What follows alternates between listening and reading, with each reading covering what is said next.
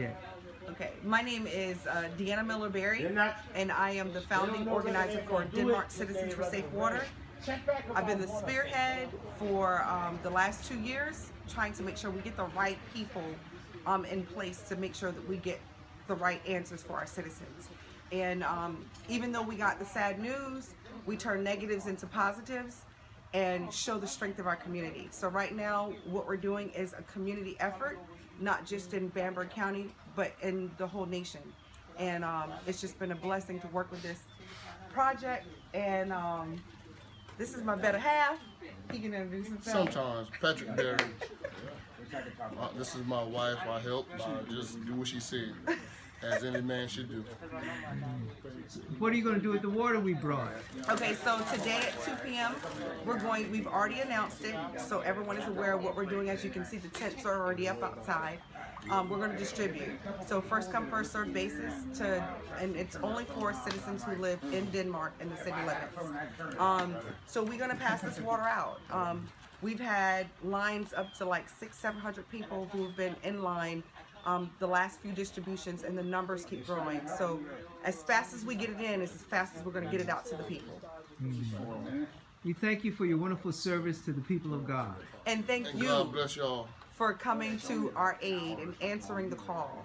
Um, it's it's an it's an amazing effort when you have people who don't even know you personally, but want to come offer aid. And for you guys to do this in this short period of time, this is God's work. Amen. And you know, we may not do everything right all the time, but he al- he always says if you are willing and obedient, you eat the good of the land. And right now, the city of Denmark is about to eat the good of the land and have access to safe, clean drinking water until we're able to provide solutions um, to this national to this disaster that we're experiencing.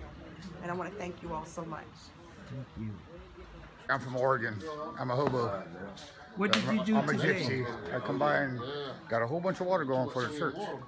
Excellent. Thank you, Brother Eric. You're welcome. As you guys have seen, all the water is now unloaded. It haven't been dispersed yet. But most importantly, we want to thank Bluffton, Campbell Chapel, Zion, Missionary. We couldn't have done this without you guys. For a short period of time, as you see, we've, we've collected a large amount of water, good quantity, in just a few days. So imagine if we just took a week or a month, probably could collect the Nile River, hypothetically speaking.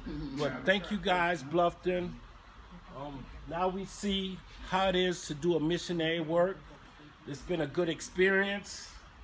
I wish you all could have been here to assist, so we're bringing it back. Thanks to Dr. Black most of all.